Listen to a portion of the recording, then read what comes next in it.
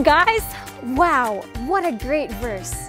It is good to praise the Lord, and it's so much fun to do so, especially with music. Oh, this? Oh, this is a harmonica. I'm sure most of you guys recognize it already. If you guys listen to a lot of country or bluegrass music, I'm sure you can hear it a lot in the songs. It's a lot of fun to play too. Listen. Easy too.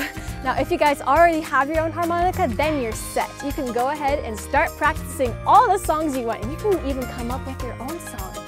But if you don't have one, or if you lost your harmonica, don't worry, we got you covered. We're gonna teach you how to make your own DIY harmonica at home. That's right, Emily. Now, I, I must warn you guys, this harmonica will take a bit of practice before you get to know how to actually play it. Now what you're gonna need for it, it's just a simple comb and some wax paper.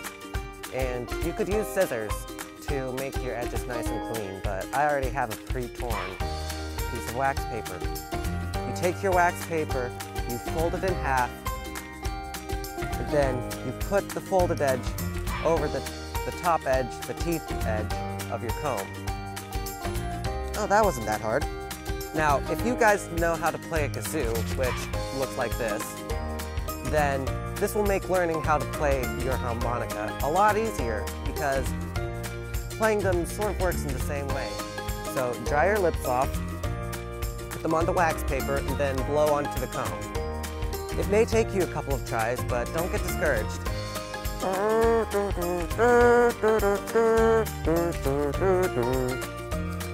It works. So that's how you make your homemade harmonica. Back to you, Emily. Thanks, Michael. Now I have two harmonicas I can play. I wonder if I can play them at the same time. Let's see. It doesn't look like I can, but I bet you guys can. Oh, you can make so many harmonicas with this. I bet you guys can play three or four. Well, that's it for today, and don't forget today's verse, Psalm 92, 1. It is good to praise the Lord and make music to your name, O Most High. See you guys!